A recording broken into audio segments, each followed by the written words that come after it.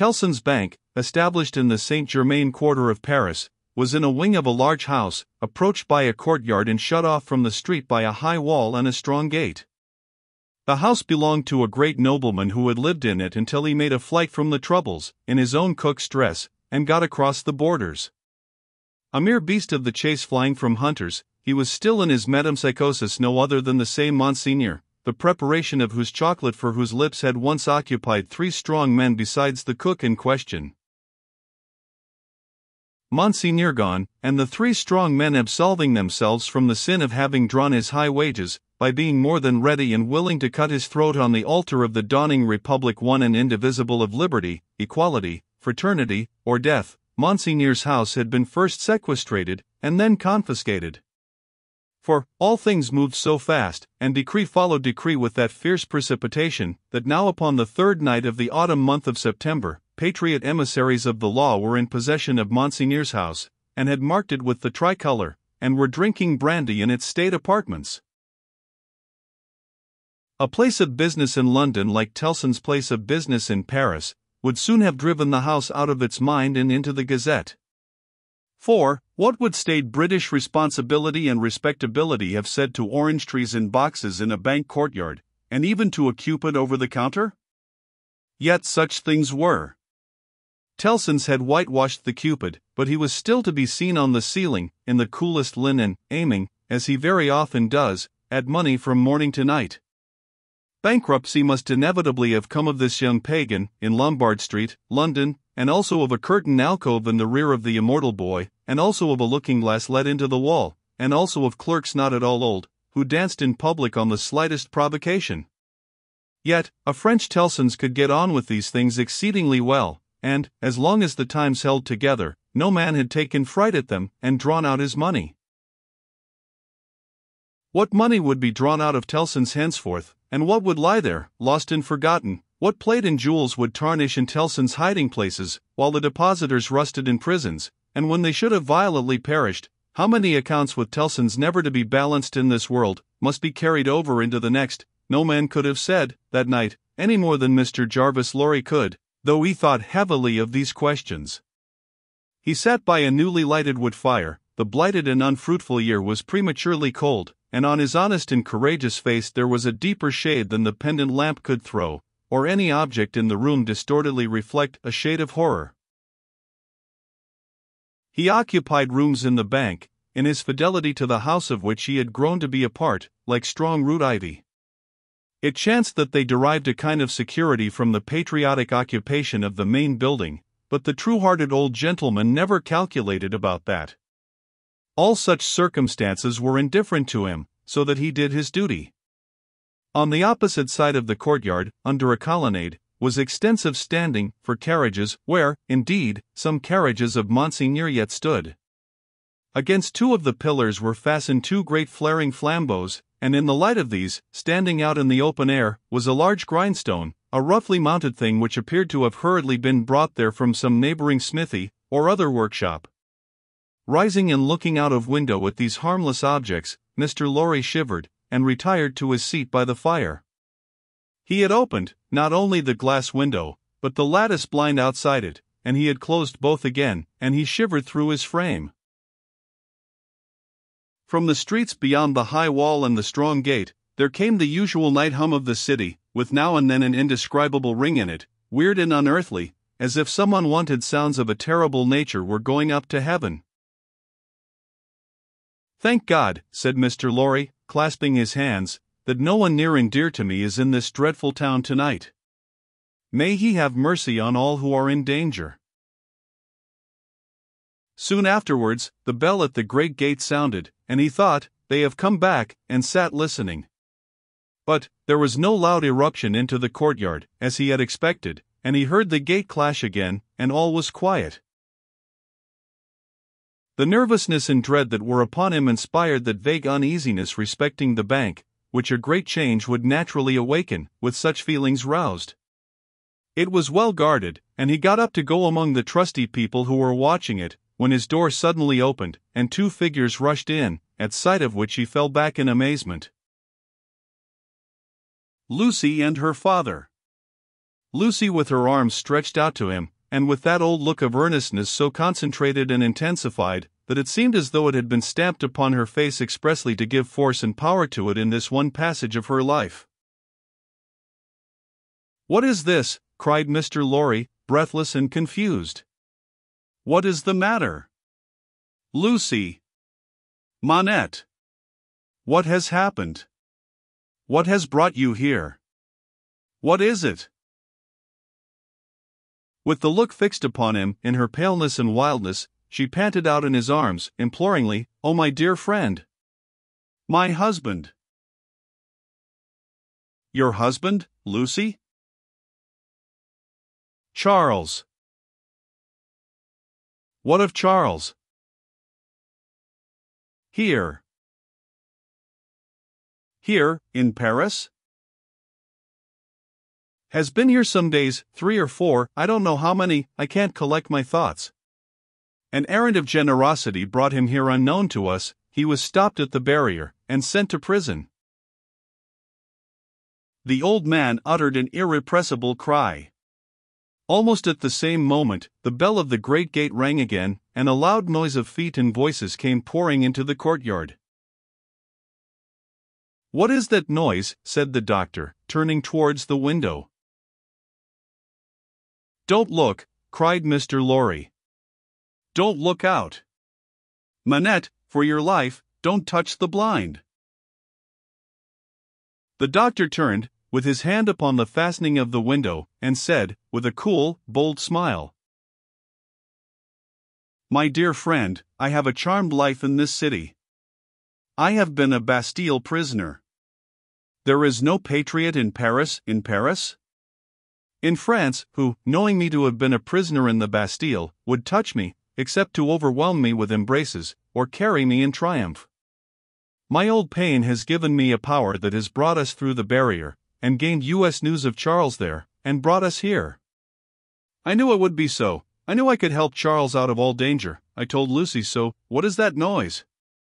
His hand was again upon the window. Don't look, cried Mr. Lorry, absolutely desperate. No, Lucy, my dear, nor you. He got his arm round her and held her. Don't be so terrified, my love. I solemnly swear to you that I know of no harm having happened to Charles, that I had no suspicion even of his being in this fatal place. What prison is he in? La Force. La Force. Lucy, my child, if ever you were brave and serviceable in your life, and you were always both, you will compose yourself now, to do exactly as I bid you, for more depends upon it than you can think, or I can say. There is no help for you in any action on your part tonight, you cannot possibly stir out. I say this, because what I must bid you to do for Charles's sake, is the hardest thing to do of all. You must instantly be obedient, still, and quiet. You must let me put you in a room at the back here. You must leave your father and me alone for two minutes, and as there are life and death in the world, you must not delay. I will be submissive to you. I see in your face that you know I can do nothing else than this. I know you are true. The old man kissed her and hurried her into his room and turned the key, then came hurrying back to the doctor and opened the window and partly opened the blind, and put his hand upon the doctor's arm, and looked out with him into the courtyard. Looked out upon a throng of men and women, not enough in number, or near enough, to fill the courtyard, not more than forty or fifty in all. The people in possession of the house had let them in at the gate, and they had rushed in to work at the grindstone. It had evidently been set up there for their purpose, as in a convenient and retired spot. But, such awful workers, and such awful work.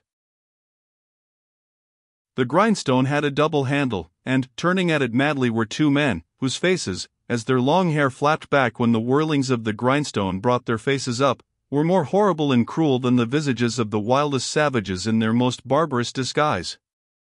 False eyebrows and false mustaches were stuck upon them, and their hideous countenances were all bloody and sweaty, and all awry with howling, and all staring and glaring with beastly excitement and want of sleep. As these ruffians turned and turned, their matted locks now flung forward over their eyes, now flung backward over their necks. Some women held wine to their mouths that they might drink, and what with dropping blood, and what with dropping wine, and what with the stream of sparks struck out of the stone, all their wicked atmosphere seemed gore and fire. The eye could not detect one creature in the group free from the smear of blood.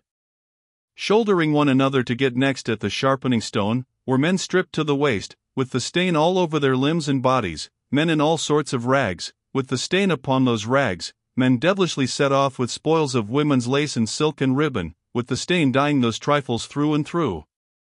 Hatchets, knives, bayonets, swords, all brought to be sharpened, were all red with it.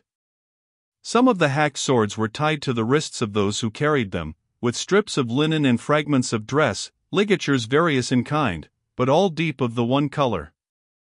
And as the frantic wielders of these weapons snatched them from the stream of sparks and tore away into the streets, the same red hue was red in their frenzied eyes, eyes which any unbrutalized beholder would have given twenty years of life to petrify with a well directed gun. All this was seen in a moment, as the vision of a drowning man, or of any human creature at any very great pass, could see a world if it were there. They drew back from the window, and the doctor looked for explanation in his friend's ashy face. They are, Mr. Lorry whispered the words, glancing fearfully round at the locked room, murdering the prisoners. If you are sure of what you say, if you really have the power you think you have, as I believe you have, make yourself known to these devils, and get taken to La Force. It may be too late, I don't know, but let it not be a minute later. Dr. Manette pressed his hand, hastened bareheaded out of the room, and was in the courtyard when Mr. Lorry regained the blind. His streaming white hair, his remarkable face, and the impetuous confidence of his manner, as he put the weapons aside like water, carried him in an instant to the heart of the concourse at the stone. For a few moments there was a pause, and a hurry, and a murmur, and the unintelligible sound of his voice, and then Mr. Lorry saw him, surrounded by all, and in the midst of a line of twenty men long, all linked shoulder to shoulder, and hand to shoulder, hurried out with cries of Live the Bastille prisoner! Help for the Bastille prisoners kindred in La Force! Room for the Bastille prisoner in front there! Save the prisoner Evrémonde at La Force, and a thousand answering shouts. He closed the lattice again with a fluttering heart, closed the window and the curtain, hastened to Lucy, and told her that her father was assisted by the people, and gone in search of her husband. He found her child and Miss Pross with her, but it never occurred to him to be surprised by their appearance until a long time afterwards, when he sat watching them in such quiet as the night knew. Lucy had, by that time, fallen into a stupor on the floor at his feet, clinging to his hand. Miss Pross had laid the child down on his own bed, and her head had gradually fallen on the pillow beside her pretty charge. Oh, the long, long night, with the moans of the poor wife. And oh, the long, long night, with no return of her father and no tidings. Twice more in the darkness the bell at the great gate sounded, and the eruption was repeated, and the grindstone whirled and spluttered. What is it? cried Lucy, affrighted. Hush! The soldiers' swords are sharpened there, said Mr. Lorry. The place is national property now, and used as a kind of armory, my love. Twice more in all, but the last spell of work was feeble and fitful. Soon afterwards the day began to dawn, and he softly detached himself from the clasping hand, and cautiously looked out again. A man, so besmeared that he might have been a sorely wounded soldier creeping back to consciousness on a field of slain, was rising from the pavement by the side of the grindstone, and looking about him with a vacant air. Shortly, this worn out murderer descried in the imperfect light one of the carriages of Monseigneur, and, staggering to that gorgeous vehicle, climbed in at the door, and shut himself up to take his rest on its dainty cushions. The great grindstone, earth, had turned when Mr. Lorry looked out again, and the sun was red on the courtyard.